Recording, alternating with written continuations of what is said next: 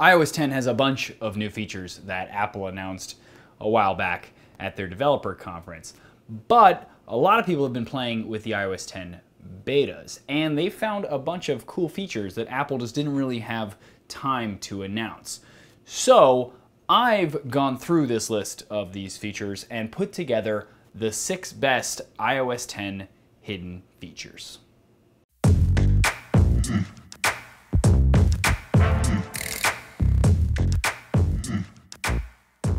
So you might have an iTunes library of 10,000 songs, but do you ever really need 10,000 songs on your phone at one time?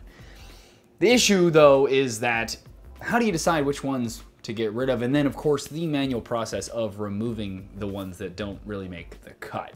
Well, Apple has introduced an optimized music storage feature that you can set a certain amount of storage for your downloaded music, and then the phone automatically will figure out which songs you listen to the most and which ones you don't really listen to at all, and remove the ones that you don't listen to. Uh, you can always get them back by just tapping on them and having it download them back from the cloud, but it will save a ton of storage for the ones that you just probably don't listen to very often. Now, for those of you that seem to forget where you've parked, Siri now has access to your sensors and can use them to know when you've actually stopped and parked your car. It does that based on the speed that you're going, it assumes you're driving, and then when all of a sudden that speed stops and you end up at a walking pace, it knows that you've parked. Automatically, keyword automatically, it'll put a pin in your Apple Maps whenever this happens to signify where your car was parked. Okay, so this next one is actually three features, but they all pertain to making a better experience for the Mail app. So for the sake of this list, we're just gonna pretend they're all one. First up, iOS 10 will now automatically try to help you when sorting your mail into folders.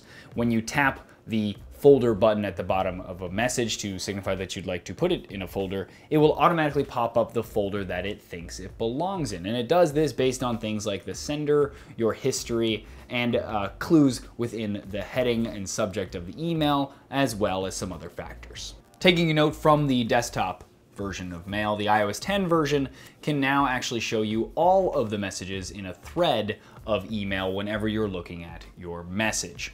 Also in the inbox view, you can tap on the arrows to the right of a thread of messages to expand it out and see all of the individual emails within that thread.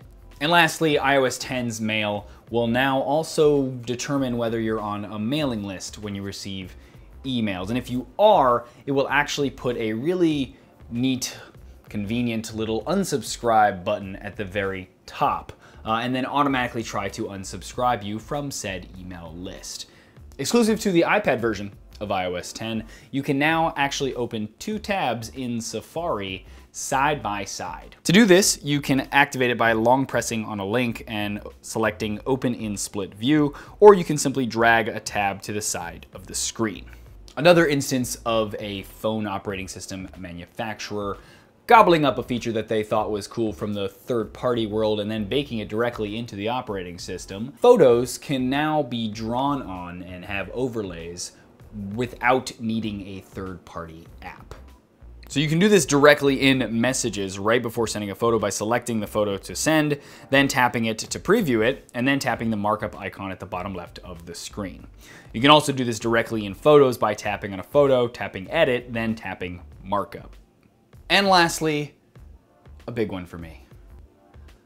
If you have a 3D Touch enabled iPhone, you can now 3D Touch on the X at the top right of your notifications to get a clear all button.